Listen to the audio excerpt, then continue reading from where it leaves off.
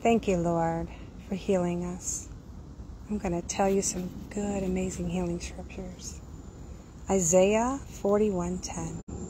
Fear thou not, for I am with thee. Be not dismayed, for I am thy God. I will strengthen thee. Yea, I will help thee. Yes, I will uphold thee with thy right hand of righteousness. Jeremiah 17:14.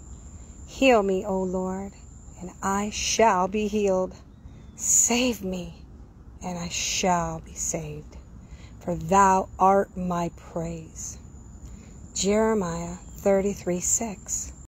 Behold, I will bring it health and cure, and I will cure them, and will reveal unto them the abundance of peace and truth. 1 Peter 2:24 Who his own self bare our sins in his body on the tree, that we, being dead to sins, should live unto righteousness, by whose stripes you were healed. James 5:15 And the prayer of the faith shall save the sick, and the Lord shall raise him up. And if he have committed sins, they shall be forgiven him. Psalms 103, 2 and 4. Bless the Lord, O my soul, and forget not all his benefits. 3 John 1 2. Beloved, I wish above all things that thou mayest prosper and be in health even as thy soul prospereth. James 5:16, my favorite. Confess your faults one to another and pray one for another that you may be healed.